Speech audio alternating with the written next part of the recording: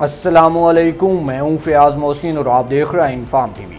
مفتی تقی عثمانی کی social media پر viral تصاویروں کا ڈراپ سین ہو گیا۔ ان وائرل تصاویروں کے علاوہ مزید ٹک ٹاک ویڈیوز سامنے آ گئی ہیں، جو ابھی آپ کو میں دکھاؤں گا۔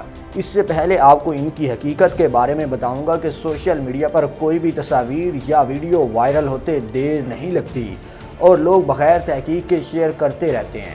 تصاویروں میں جو شخص ہے وہ نہ تو مفتی ہے، نہ تقی ہے اور نہ اس کا تعلق لاہور سے ہے۔ معلوم ہوا ہے کہ اس کا نام عامر خان ہے۔ یہ ورجینیا میں رہتا ہے۔ یہ ریل اسٹیٹ کا بزنس کرتا ہے۔ یہ عورت اس کی بیوی ہے۔